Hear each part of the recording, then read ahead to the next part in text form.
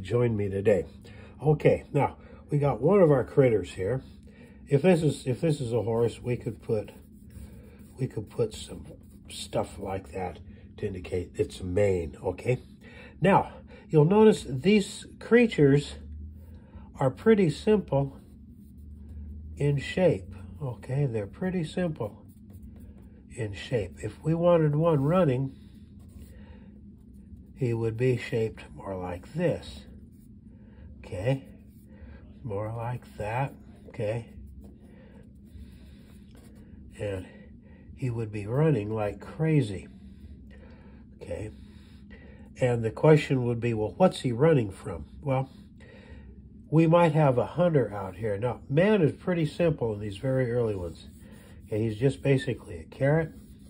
He's got a couple of legs, a head up here, okay, like that, okay.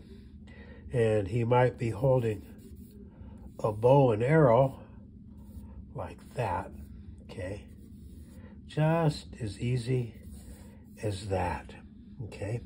This little guy, he's just running like crazy, but I got news for him. He's running in the wrong direction, okay? He's running right towards the hunter, okay? We keep these simple because in the end, we're going to do our painting of one, okay? And, uh, we're going to do it on a rock. Okay, we're going to actually paint one on a rock. So, keeping that in mind, if you're practicing, go ahead and just just practice keeping the shape simple.